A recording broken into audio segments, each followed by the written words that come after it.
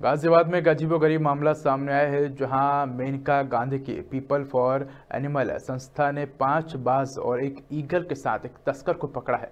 संस्था द्वारा ये दावा किया जा रहा है कि ये बाज पंजाब में पाकिस्तानी इलाके से पकड़े जाते हैं। उन्होंने सवाल उठाया कि 26 जनवरी को लेकर इतनी सख्त चेकिंग है, उसके बावजूद ये पंजाब से लेकर यहाँ तक कैसे ले आए? टीवी स्क्रीन पर जो आपको बाज दिख रहे, इसको लेकर पीपल फॉर एनिमल संस्था का दावा है कि बाज पाकिस्तान के एनिमल ऑफिसर गौरव गुप्ता ने बताया कि उन्हें ये जानकारी मिली थी कि पक्षियों की तस्करी की जा रही है। इसके बाद उन्होंने उस व्यक्ति से संपर्क किया तो उसने पंजाब के एक आदमी का नंबर दिया जिसने एक लाख प्रति बाज बताया। इसके बाद वो बाज को लेकर यहाँ आया और लगातार अपनी लोकेशन बदलता रहा, लेकिन उसके बावजूद एक तस्कर के साथ पीएफए ने इनको धर दबोचा है। पीएफए का दावा है कि ये जानवर पंजाब में बॉर्डर पर पाकिस्तान से पकड़कर वहाँ से लाए जाते हैं।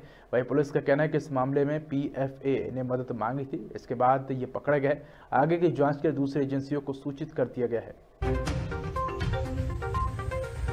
सूचना मिल रही थी कि जामा मस्जिद शाना क्षेत्र में एक व्यक्ति रहता है, शमीम, जो पशुओं का तस्कर है और बर्ड्स की दलाली करता है। तो उस व्यक्ति से हमारे लोगों ने संपर्क करा कि भाई हमें बाज चाहिए, क्योंकि वो बाज खुले हम बेच रहा था।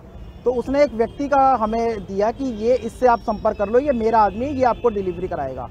ये पंजाब का व्यक्ति था और इसके अंदर दो तीन लोग हैं।